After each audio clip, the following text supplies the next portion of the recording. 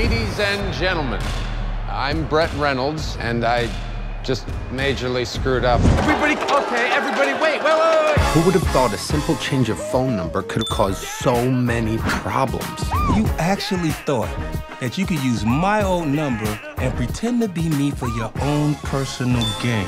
You moron! The ride's over, Brett. Yeah, you're on your own, pal.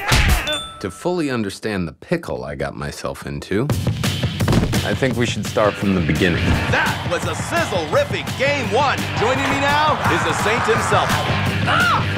Who are these whores? Ah! You need a new phone with a new number. Tomorrow, when you go job hunting in the city, I want you to get a new phone and a new number.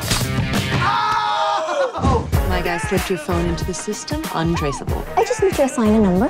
That one. Do you realize the type of text that came into that number on a daily basis? I say we go. That's because you're stoned and stupid. I say we return the phone. What? Come on, yo, this is like the hottest club in town. You struck gold. Take advantage of the access.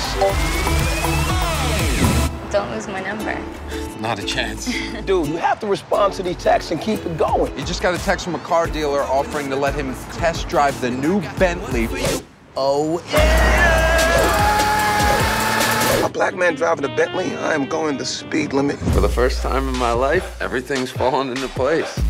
His name is Brett Reynolds. Sneaky son of a...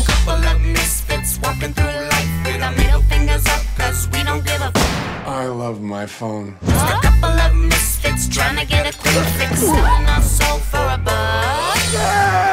All I care about is taking down Brett Reynolds. Sometimes rules gotta get broken. Reynolds, I'm gonna kill you!